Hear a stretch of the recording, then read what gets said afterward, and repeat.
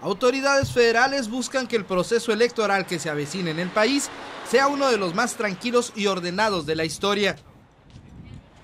Se intenta garantizar un clima de seguridad pública y estabilidad política para que los ciudadanos acudan a las urnas sin ningún tipo de presión, pero sobre todo que cuestiones externas no inhiban la participación ciudadana.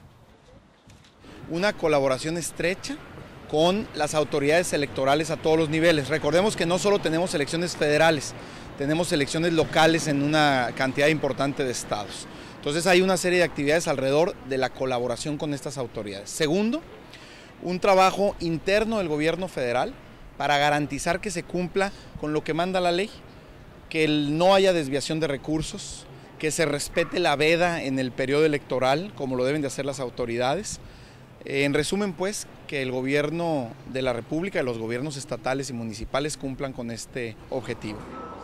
Oscar Vega Marín, secretario ejecutivo del Sistema Nacional de Seguridad Pública, aseguró que se busca evitar que grupos del crimen organizado se involucren en el tema político al apoyar campañas o incluso presionar a partidos o candidatos para que apoyen actividades ilícitas. Hay una preocupación muy clara derivada de la elección local de Michoacán de meses pasados y alrededor de esta preocupación, más otras que ha habido, eh, tenemos el año pasado el, incluso el asesinato de un candidato, como recordarán. Entonces, alrededor de estos eh, fenómenos que se han presentado está esta preocupación y el gobierno de la República ha insistido en que el objetivo es garantizar de que no haya ningún fenómeno externo, mucho menos derivado de la delincuencia organizada, que influya o pretenda influir en nuestro proceso electoral.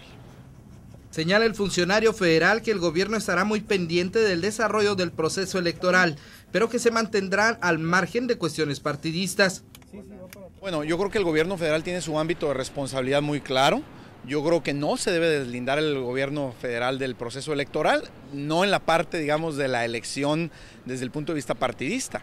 No nos deslindamos porque tenemos la responsabilidad de garantizar el proceso que sea en paz, coadyuvar con las autoridades electorales en donde sea necesario a través de la seguridad de los candidatos, la seguridad de los centros de votación. Se espera que esta elección sea de las más competidas no solo a nivel federal, sino también en los distintos estados del país, donde se llevarán a cabo procesos electorales locales. En Tijuana, con imágenes de Manuel Beitia, Jorge Fregoso, en síntesis.